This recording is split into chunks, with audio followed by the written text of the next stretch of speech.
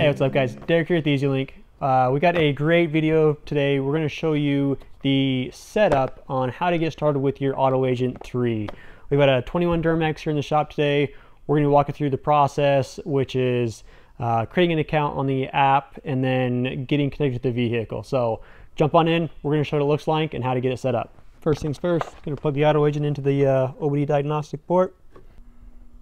All right, guys, got the AutoAgent 3 plugged in the diagnostic port. We've got our AutoAgent app um, on the screen. We're going to show you how to create an account, how to get the AutoAgent app running, working, and connected to the vehicle. So first off, we're going to create a login, create a password, then confirm the password, and create. Go in here, accept the terms and conditions, just scroll through it, unless you want to read it all and accept. Same thing, privacy poly, go through, read it, um, and then once you get down to the very bottom, you hit accept again. Okay, now an email was sent to us to confirm. We're going to go ahead and get that link and confirm real quick.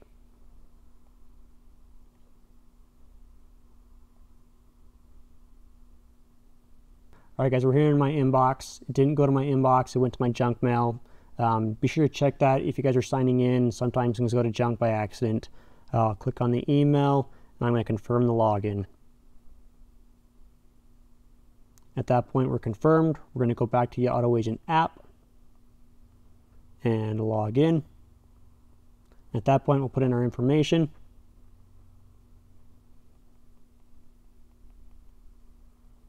And we're just going to pick a random date for birthday just to give you guys the idea save, and we're there. So we're gonna get started. So now we're gonna show you how to connect to the vehicle. So we don't connect via Bluetooth, we connect via the Wi-Fi signal. Um, this is a stronger signal strength. It's not broadcasting actual Wi-Fi um, source. You're not gonna have internet. It's just the frequency that we use to connect the app, which is on your phone, to the Auto Agent 3. So we're gonna go over here to our settings.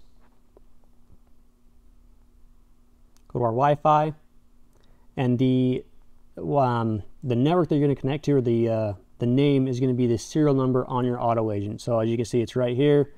We're going to go ahead and connect to that. And then at that point, we'll go back to the auto agent app and you're logged in. Now, you guys, you'll have all the functions and features of the vehicle that you're connected to. We can go in, we can see we're connected to a 21 L5P.